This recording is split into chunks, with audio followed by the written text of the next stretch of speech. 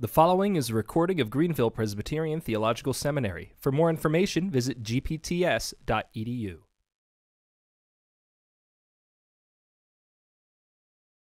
I noticed in the program that I have an hour and 45 minutes.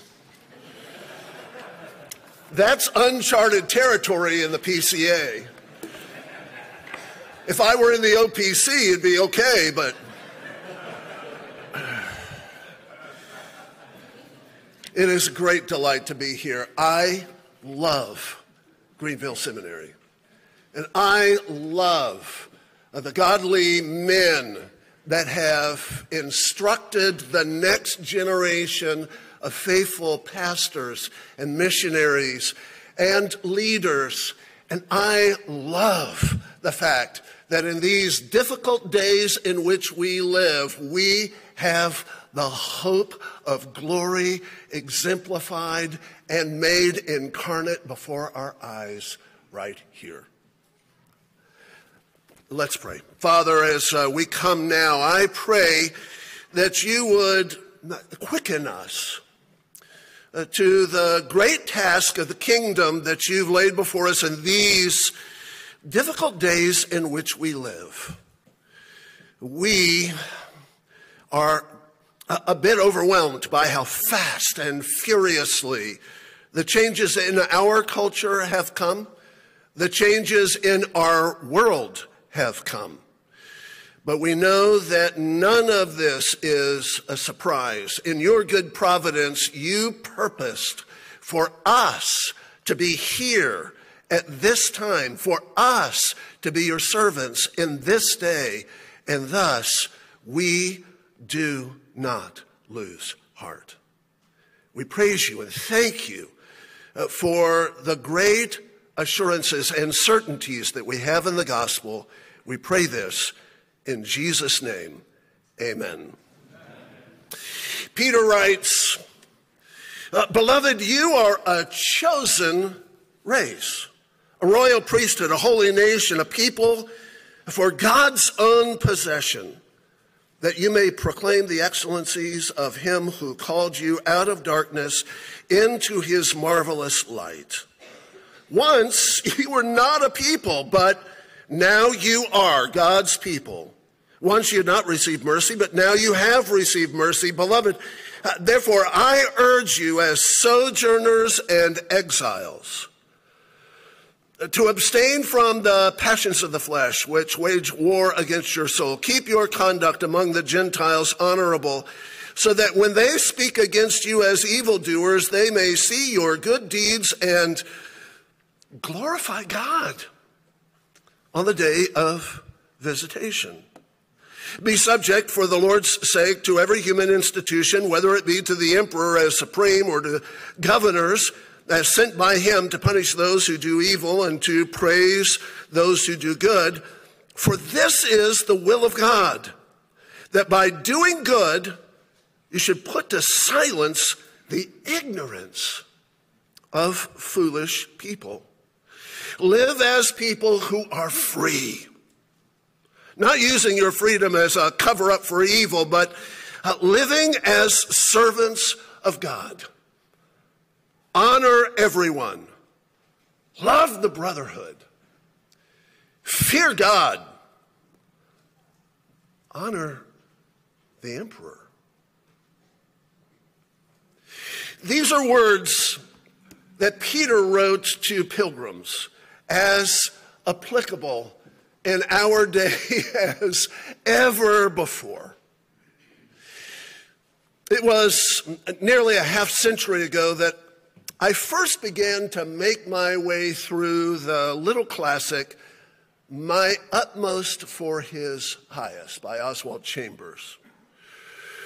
Now, Oswald Chambers was by no means an exemplar or paragon of a Reformed theology with his uh, Keswickian view of sanctification and sometimes his odd takes on the Old Testament, but he was converted under the ministry of Charles Haddon Spurgeon and was profoundly influenced throughout the whole of his life by a lifetime habit of reading the sermons of Thomas Chalmers. At any rate, my utmost was the very first devotional I'd ever read. I was a brand new Christian. And it had an immediate, powerful impact, an enduring impact. Very quickly, I found that a host of uh, the memorable phrases of Oswald Chambers had made their way uh, from the pages of that little red hardcover book into my daily conversation. Broken bread and poured out wine, not knowing whither. Prayer is the greater work the strain of waiting. We're made for the valley. Uh, do what is not your duty, listening in the dark. Day after day, I found that his wisdom to be pungent and picturesque, enabling me to taste and see some of the profoundest truths of the gospel that I had never seen before, never imagined before. There was one little passage that particularly bolstered my faith then, and I've thought about it ever since. Shaped my uh, vision. It uh, emboldened my faith. It, it, bolstered my imagination. It, it uh, hastened my thinking. And to this day, it gives trajectory uh, to my sense of calling. It's based on uh, Genesis chapter 12, the call of Abram. Abram receives his call. He leaves Ur of the Chaldees, makes his way to Haran, and then eventually to Canaan. But he comes to Shechem, and the Lord shows him the land of promise that is before him. And then we're told that he went on through the hill country to the east of Bethel and there he pitched his tent between Bethel and Ai. Uh, Chambers, in his uh, devotional, has an entry on January the 6th entitled True Worship. And it's based on this particular passage. The whole entry is probably necessary for a full exposition, uh, but the opening lines of the second paragraph serve epigrammatically as a summary of his argument. He says, Bethel is the symbol of communion with God, and Ai is a symbol of the world. Abram pitched his tent as a pilgrim between the two. Chambers goes on and he explains that we all have to pitch our tents where we will always have quiet times with God, however noisy and fractious uh, our times with the world may be. There are not three stages of the spiritual life worship, waiting, and work. Some of us go in jumps like spiritual frogs. Uh, we jump from uh, worship to waiting and from waiting to work and back again in no particular order. Uh, God's idea, though, is that the three should go together. They were always together in the life of the Lord. He was unhasting and unresting. It is a discipline, he says. We cannot get there all at once. And when I read that passage years ago, I was struck by the rare wisdom that it contained. Indeed, all these years later, it remains rare wisdom. Finding a proper balance uh, between heavenly concerns and earthly responsibilities is never easy. Uh, most of us, particularly in these dark and difficult times, are torn between two bad Benedict options Benedict Arnold, the betrayal of complete acquiescence to the culture, or Benedict of Nursia, hiding ourselves away, hoping that it'll just all quiet down sometime soon maybe before the grandchildren graduate from high school. The truth is, is that God has called us into the midst of this fractious world. We're constantly tugged between piety and practicality, between devotion and duty, between communion with God and calling in the world, like tending a well groomed garden or or making a fine meal, honing a balanced biblical worldview involves the drudgery, hard work, arduous labor on the uh, par with our call to the ideals of faith, hope, and love. And somehow we have to mix those together. It involves the certainty that we are called to work and serve and love in this poor fallen world while simultaneously maintaining a certainty that we are merely pilgrims journeying on our way to the celestial city. To pitch our tents between Bethel and Ai, I think is a profoundly biblical way of describing our uh, call to be in the world but not of it, to never quite be home until we're all the way home, but to never bifurcate or dichotomize our callings into upper story leaps or lower story slumps. It's a metaphor that helps me to describe a biblical worldview, a pilgrim's worldview. The, the truth is, as we know, the Christian view of the world and all things of the world is fraught with a very evident paradox, an appreciation for both the potentialities and the liabilities of fallen creation. For instance, we know that the world is only a temporary dwelling place. It is passing away. 1 John 2:17. And we're here but for a little while as aliens and sojourners. Acts 7 6. Because we're a part of God's household, Ephesians 2:19, our true citizenship is in heaven. Philippians 3:20. Our affections are naturally set on things above. Colossians 3:2. In addition, the world is filled with dangers, toils, and snares, Jeremiah 18 22. In tandem with the flesh and the devil, it makes war on the saints, John 15 18. All that is in the world, the lust of the flesh, the lust of the eyes, the pride of life, none of this is of the Father. The world cannot receive the spirit of truth because the cares of this world choke the word and it becomes unfruitful. Matthew 8 22. But thankfully, of course, uh, Christ overcame the world. John 16, 33, and then chose us out of the world. John 15, 19. Uh, thus, we're not to be conformed to this world. Uh, Romans 12, 2. Neither are we to love the world. 1 John 2, 15 because Christ gave himself up for us, that he might deliver us from this present evil world.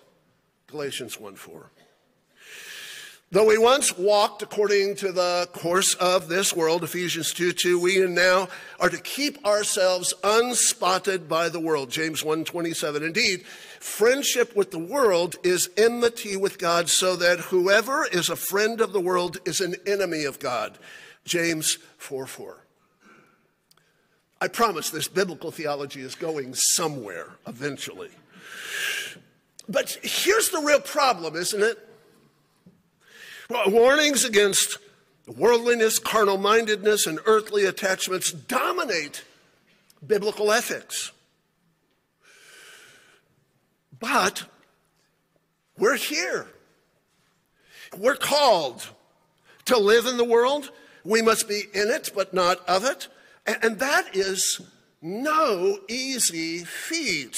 As John Calvin wrote in his uh, little golden booklet excerpted from his magisterial institutes, nothing is more difficult than to forsake all carnal, carnal thoughts, to subdue and renounce our false uh, appetites, and to devote ourselves to God and our brethren, and to live the life of angels in a world of corruption. A life of angels. I haven't seen that in any Presbyterian meeting in a long time.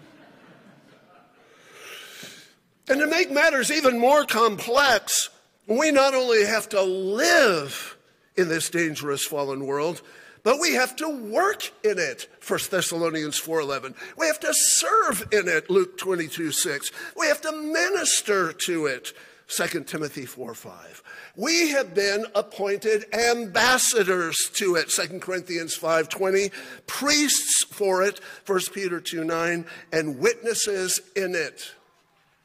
Matthew 24 14 we even have to go to the uttermost parts of it, Acts 1 8, offering a good confession of eternal life to which we are called. 1 Timothy 6 12. And the reason for this seemingly contradictory state of affairs, enmity with the world on the one hand, responsibility for it on the other, is simply that though the world is in the power of the evil one and knows not God, neither the children of God, God is in Christ Jesus reconciling the world to himself. Through Christ, all things are reconciled to the Father. Colossians 1:20. So that the kingdoms of this world shall become the kingdoms of our God and of his Christ. The earth is the Lord's and everything in it, the world and all who live in it, for he founded it upon the seas and established it upon the waters. He is worthy worthy of all glory and honor and power and all wisdom and might and blessing forever and ever. Amen. And that's the cornerstone of our pilgrim's calling. A genuinely integrated Christian worldview has to be cognizant of both perspectives of the world, to treat them with equal weight. G.K. Chesterton put it this way he said, What we need isn't the old acceptance of the world as a compromise, but in some way, but we are called to heartily hate it and heartily love it at the same time. We don't want joy and anger to neutralize each other and thus produce a surly contentment. You ever seen a saint that looks like they've been baptized in vinegar?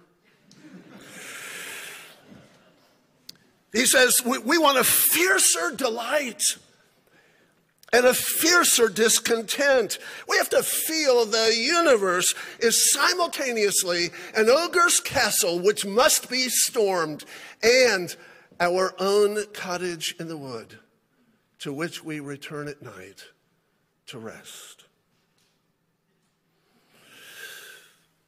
And so, uh, we are called to be engaged with the world, but unengaged in worldliness. We must somehow correlate spiritual concerns with temporal concerns. We must coalesce heavenly hope and landed life. We must coordinate heartfelt faith and down to earth practice. We need to be so heavenly minded that we do the earth good. That's what Peter's call to the exiles and the sojourners was in 1 Peter chapter 2. It's a great, high, and holy calling. It's called to pitch our tents between Bethel and Ai. Eudora Welty, great uh, Southern matron of letters, uh, once wrote If you want someone to know something, tell them. If you want someone to understand something, tell them again. But if you want someone to love something, tell them a story. Now, to be sure, I want you to know something. I want you to know what it means to be pilgrims in these darkened times in which we live. That as you make your way to your eternal destiny in accordance with the good providence of God. And I want you to understand uh, that there are dangers along the way and yet delights along the way. But uh, more than knowing this and understanding this, what I really desire is that you would come to love this call to pilgrimage. So, I better tell you a story. Historian and biographer R.A. Sheats has written the visible history of Christ's church is often hidden in clouds of obscurity. For reasons known only to God, he often chooses to conceal some of his greatest treasures, awaiting rediscovery by the church in his perfect time. Thus it has been for Pierre Viret, a forgotten giant of the 16th century Reformation. Now, if you were to ask anyone, I mean anyone who has even the scantiest knowledge of the period, who was the most significant figure in Geneva's magisterial Reformation? They would, of course, reply, John Calvin. But I'm convinced that John Calvin himself would undoubtedly reply, Oh, no, no, no. To be sure, it was Pierre Viret. It was Viret, along with his mentor and friend, William Farel, who brought the Reformation to the city of Geneva first, beginning in 1534. Already he had uh, brought the doctrines of grace to the Swiss towns of Orbe and uh, and Payerne and Neuchâtel. He led the Genevan Disputation of 1535, and then he moved to Yverdon and Lausanne, uh, where he witnessed great gospel fruitfulness. He was back in Geneva in 1536 in time for that famed, fateful meeting with the young John Calvin and the fiery Farel. It was then that Farel famously threatened Calvin with divine retribution if he did not remain in the city uh, to labor side by side with them. Calvin, as you know, had only intended to pass through the city on his way to Strasbourg, and he had to have been thinking in that moment, why didn't I just wait for one more truck stop? Uh, what is less known about the incident is that it was Viret who softened Farel's fulminations, persuading Calvin to stay. It was the beginning of a lifelong friendship and partnership as yoke fellows in the faith. The next year, Viret was in Lausanne overseeing a remarkable reforming work in that city, pastored a thriving church. He helped to uh, evangelize neighboring districts. He engaged in several public disputations with uh, Catholic hierarchs. He wrote voluminously. He survived two brutal assassination attempts. And he established the first academy for Reformed theological training.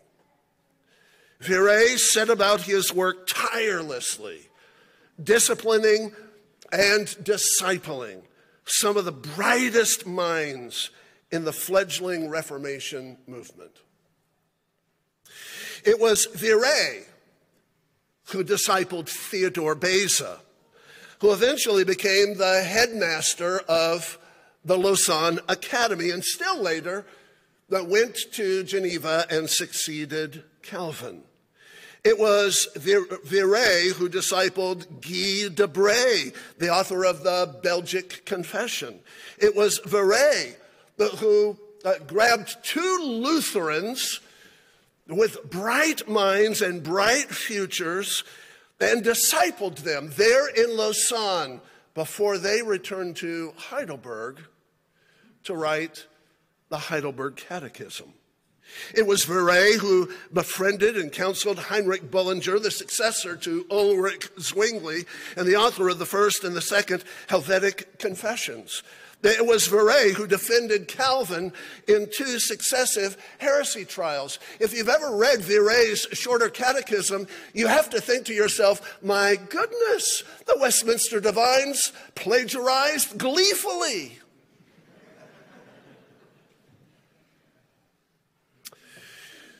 When Calvin was banished from Geneva in 1538, it was Viret who was recalled to the city to do the work of reconciliation and restoration. It was Viret who sent ahead a message to Butzer in Strasbourg saying to him, Get the man a wife. It was Viret's persistent intercessions that eventually persuaded the council to invite Calvin to return in 1541. And it was Viret who persuaded the obviously very reluctant and now married Calvin to actually accept the invitation. Over the course of the next two decades, Viret would serve in the flourishing gospel work in the city of Lausanne, planting congregation after congregation, and seeing the city flourish he would continue to train a whole new generation of pastors and evangelists, apologists, theologians, educators, and missionaries. Whenever there was an intractable conflict or an obstinate controversy in any of the churches throughout the Swiss cantons, it was Viret who was called in to restore their purity, their peace, and their loving kindness. I don't know how many times I've thought, sitting in General Assembly, where are our Virets? He would write a raft of vital books that would shape the Reformation throughout Europe, from Scotland to Greece, from Italy to Poland, from Navarre to Moravia, from the Netherlands to Sweden, carrying on a voluminous correspondence with frequent visits back to Geneva. He was John Calvin's best friend and most trusted advisor.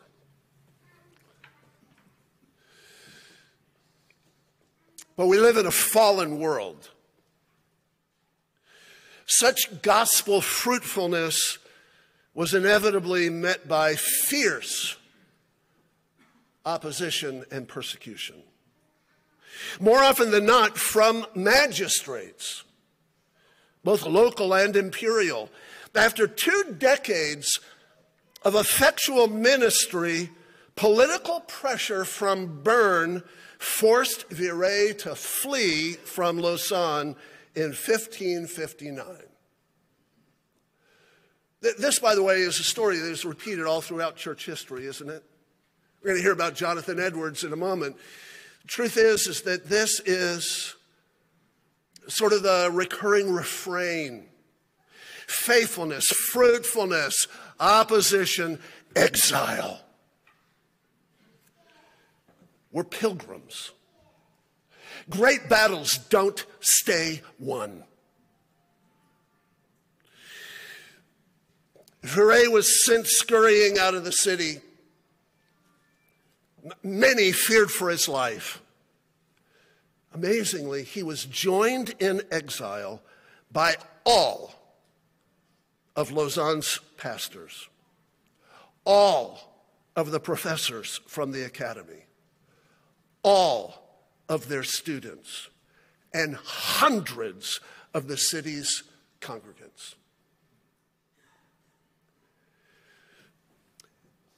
It looked like people fleeing out of Ukraine.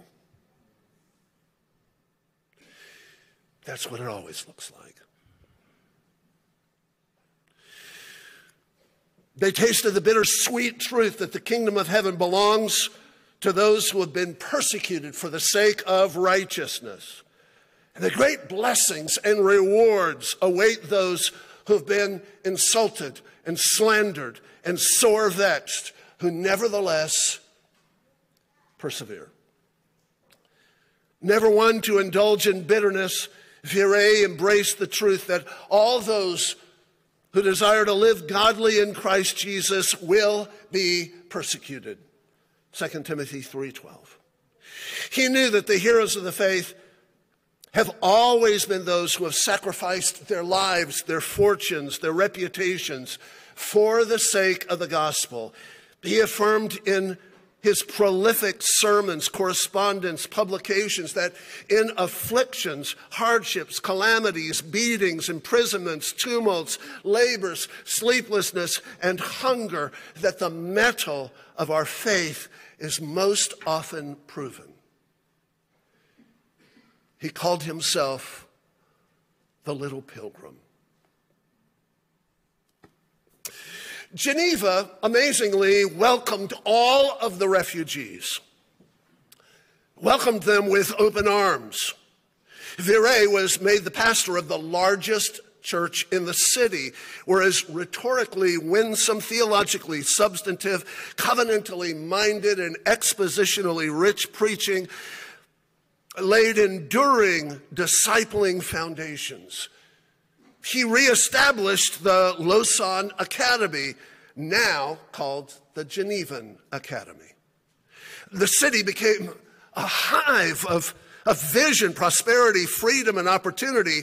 Its reformational legacy was secure at last. And as a result, Today we have Swiss chocolate and Swiss watches and Swiss Army knives. Some men might be tempted to retreat into either nostalgia or bitterness. He invested so much and he lost it all. After a quarter century of fruitfulness in Lausanne but not Viret. When five of his French students were martyred in Provence, he turned his attentions to the vital Huguenot missionary efforts in the West. In 1568, he brought the Reformation first to Nimes and then successively to Montpellier and Lyon, Marseille, Aix, and Orange. He was instrumental in the conversion of Queen Jeanne of Navarre, the mother of King Henry IV. He discipled Prince William of Orange, who helped the Reformation flourish both in his French and later in his Dutch dominions.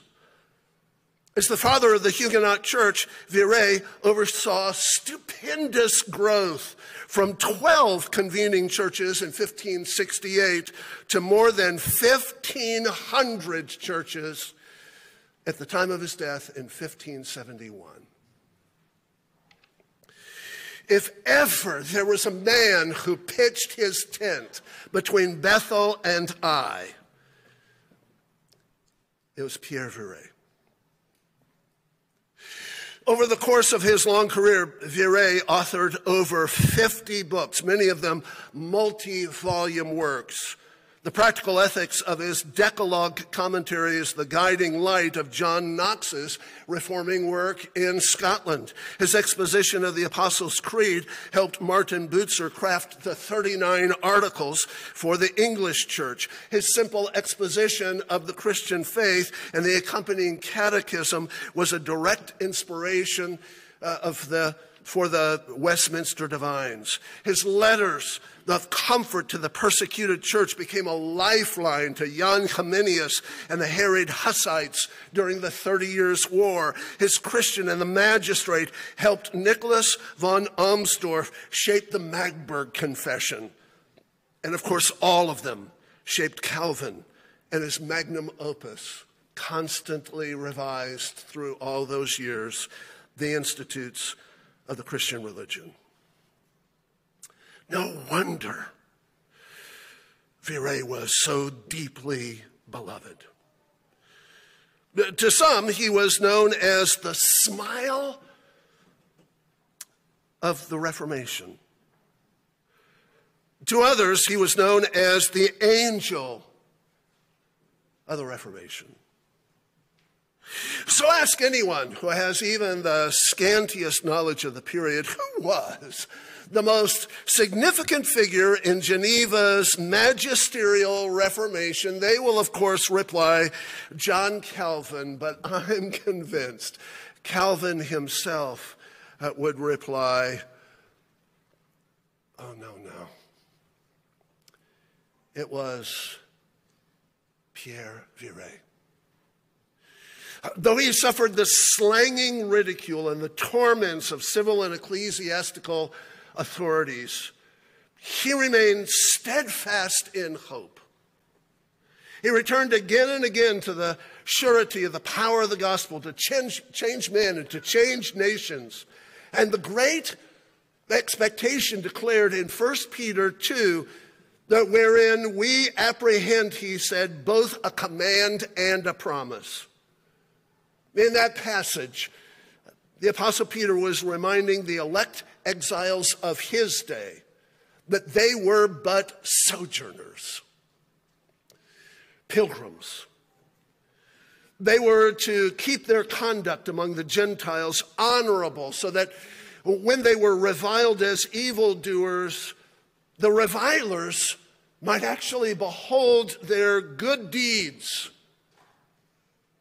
and come in time to glorify God on the day of visitation.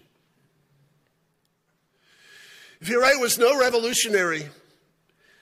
He told his disciples that uh, they were uh, to follow Peter's command, to be subject to the Lord, to every human institution, including the wicked emperor supreme, to the governors who are sent by him. Thus, the command to do good, and thus the promise that they should consequently silence the ignorance of foolish people. Indeed, they were to live as people who were free, uh, not using their freedom as a cover up for evil, but as servants of God, they were to honor everyone, love the brotherhood, fear God, and honor the emperor. Viret's great purpose, like Peter before him, was reformation, not revolution. He therefore encouraged his beloved brothers and sisters, oft beleaguered as sojourners, to be the best of subjects.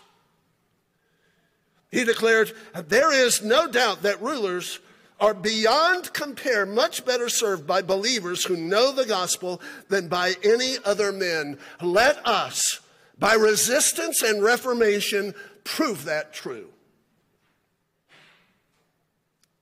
Of course, it was the Apostle Paul who first talked about uh, resistance and reformation. He said, Do not be conformed to this world. Resistance but be transformed by the renewing of your mind so that you may be able to prove what the will of God is that which is good and acceptable and perfect. I often tell uh, folks in our church, isn't this an incredible day in which to live? The pretense is crumbling away all around us. This is the day of the harvest when the tares and the wheat are achieving maturity at the same time. So may we go forth in the midst of this extraordinary day of opportunity as pilgrims pitching our tents between Bethel and Ai. Inspired by men like Viret to stay the course and to stand strong. Peter says it. He says it so well.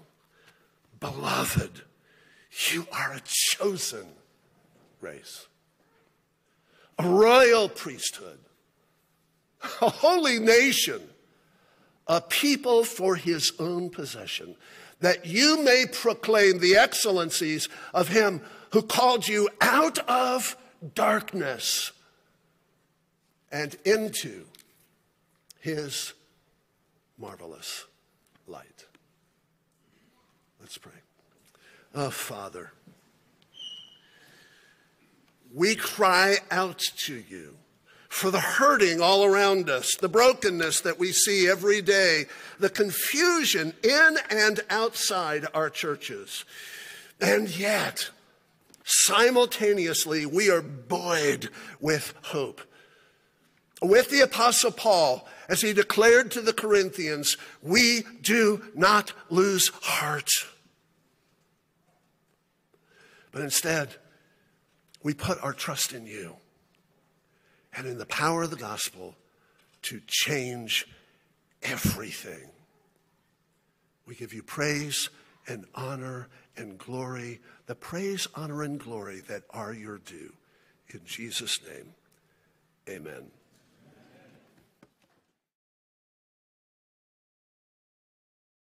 Thank you for tuning in to this production of Greenville Presbyterian Theological Seminary. For more information, please visit gpts.edu.